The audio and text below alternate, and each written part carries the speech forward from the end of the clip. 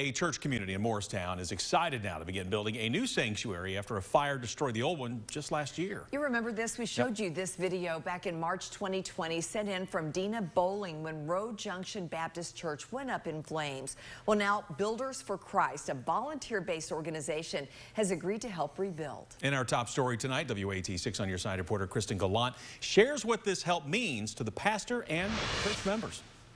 March 29th, 2020 is a date Pastor Jason Lemke will not soon forget. It was 6.30 in the morning. I had actually got a uh, phone call from the police department and telling us that the church was on fire. The thought still makes him emotional a year later. I guess this past year for everyone, not just us, uh, but everyone has been unbelievable.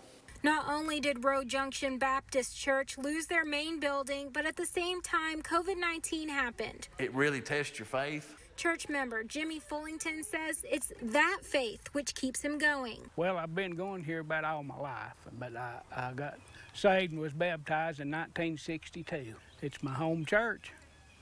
I always will be, I reckon. But when his home church was lost in the fire, it brought him back to another loss he had in a mining accident in 1976. Same date, 45 years ago, I lost my right leg on March 29th. And then on the same day, March 29th, we lost our church. So you can imagine what that done to me and, and how I felt because I, I just didn't know. At the time, I didn't know what in the world I was going to do.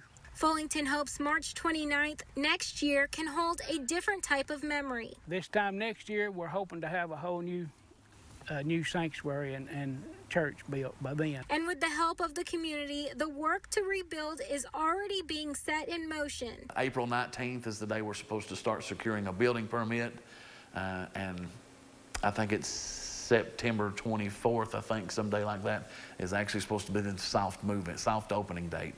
An event that most people would see as a loss, this church sees as an opportunity. Just the church had been here for 100 years, and I think people maybe had lost sight of it. And uh, this may be the way God put a light back on it. In Morristown, Kristen Gallant, WATE 6 on your side.